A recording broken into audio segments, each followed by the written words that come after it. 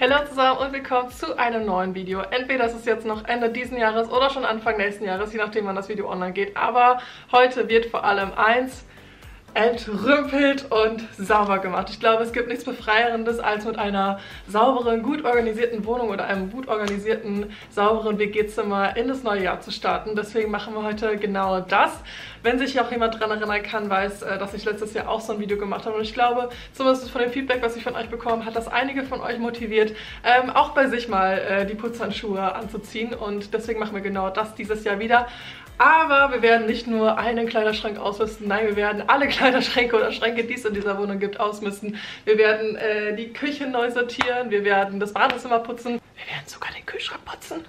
Ähm, und wir werden Sachen zum Altkleidercontainer bringen und all sowas. Also das wird ja wirklich eine blitzeblanke, ordentliche Wohnung haben. Ich freue mich schon sehr drauf, wenn es alles äh, fertig ist. Und ihr seht schon wieder im Hintergrund meinen Kleiderschrank. Ähm, ja, macht schon wieder die Tür auf. Das liegt aber nicht daran, dass ich zu viele Klamotten habe, sondern da einfach schon gefühlt seit einem Jahr diese Schraube nicht richtig funktioniert. Und ich äh, werde dieses Problem heute auch mal angehen, weil es triggert mich seit ungefähr, genau, dieser langen Zeit.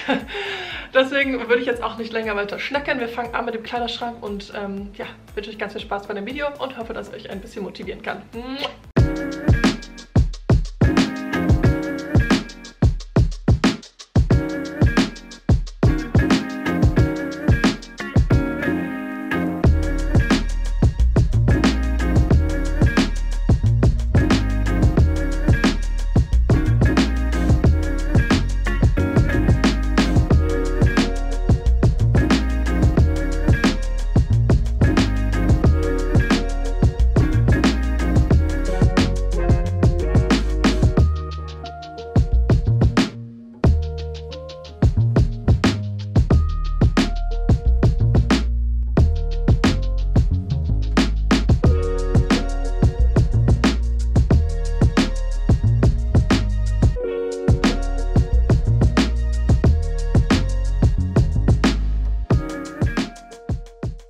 So, der Kleiderschrank ist geschafft und ich hätte ehrlich gesagt nicht gedacht, dass jetzt nochmal so viele Sachen zusammenkommen, die ich aussortieren möchte. Aber ich glaube, da waren auch einige bei, wo ich schon beim letzten Mal aussortieren gesagt habe, okay, wenn ich die jetzt wirklich nicht anziehe, dann kommen sie beim nächsten Mal aussortieren raus. Deswegen habe ich jetzt hier einen riesengroßen Stapel vor mir. Ähm, einen großen Teil davon werde ich erstmal zu einer Freundin von mir geben und gucken, ob sie da was äh, von haben möchte. Und den Rest, den sie dann nicht haben möchte, der wird dann äh, einfach gespendet. Und ich zeige jetzt mal ganz kurz, was da zusammengekommen ist. So, angefangen mit Volleyballschuhen, die kommen einfach so in, in Müll, weil die einfach äh, auf sind und so. Und die frage ich nur mal Mama, die haben möchte. Ähm, und dann habe ich hier so ein äh, Teil mit Klamotten, die jetzt auch einfach schon genug getragen waren, die ich einfach aussortiert haben möchte. Und dann habe ich aber hier einen äh, riesengroßen Stapel voll Klamotten, der äh, noch total gut ist, teilweise gar nicht, bis super selten getragen wurde. Deswegen, ähm, genau, frage ich jetzt erstmal eine Freundin, ob die das haben möchte.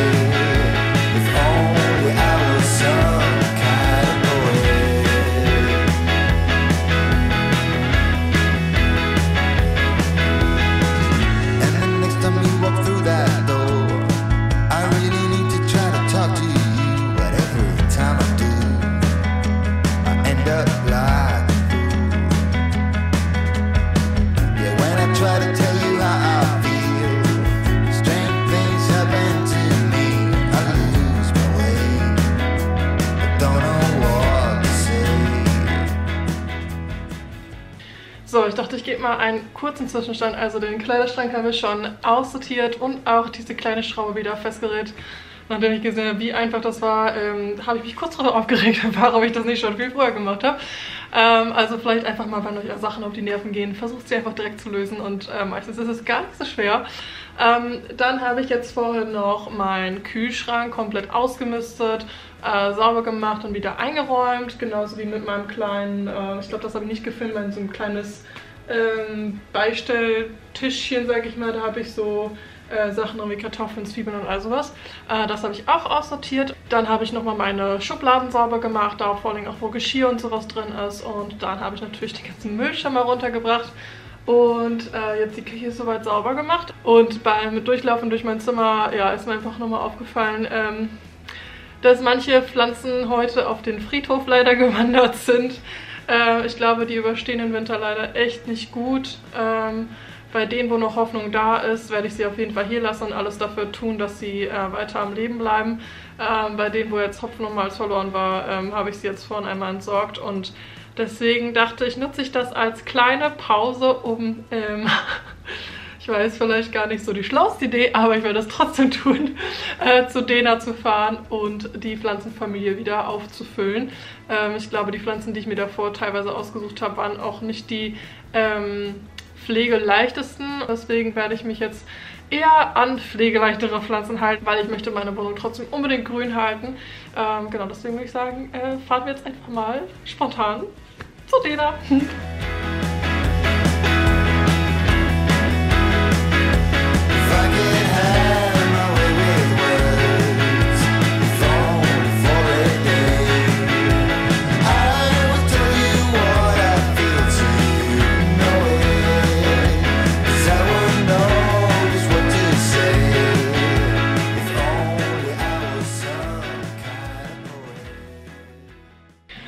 melde mich nochmal ganz kurz, äh, bevor es an die letzte Aufgabe geht, weil man im Hintergrund auch, glaube ich, noch etwas die, Kalk Ach, die Kaffeemaschine entkalken hört. Ähm, hier könnt ihr übrigens meinen äh, Familienzuwachs sehen. Er, er, sie hat noch keinen Namen.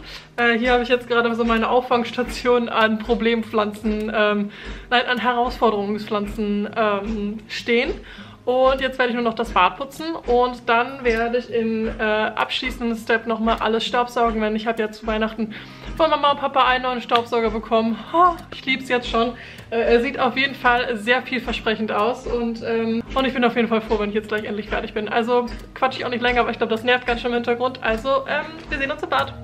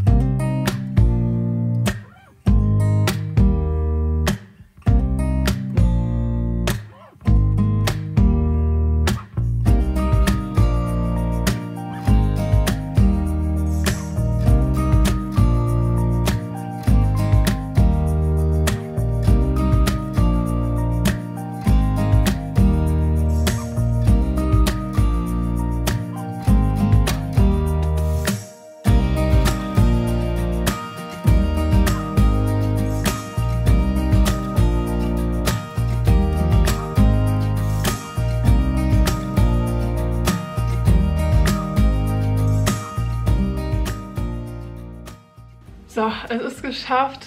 Es ist fertig gesaugt. Alle Oberflächen sind nochmal abgeputzt worden. Und äh, ich bin jetzt auch froh, dass es vorbei ist, weil so langsam reicht es jetzt auch.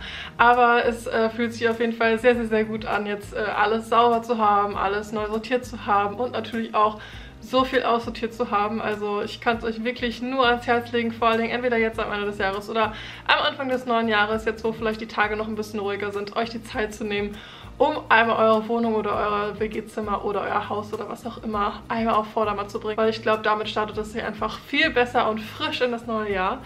Ja, jetzt möchte ich auch nicht länger quatschen. Äh, ich glaube, das habe ich mich heute schon genug getan. Ich hoffe, ich konnte euch ein bisschen motivieren und wünsche euch jetzt auf jeden Fall einen ganz, ganz, ganz tollen Start in das neue Jahr 2023. Und wir freuen uns auf den weiteren Weg mit euch zusammen. Ciao, ciao.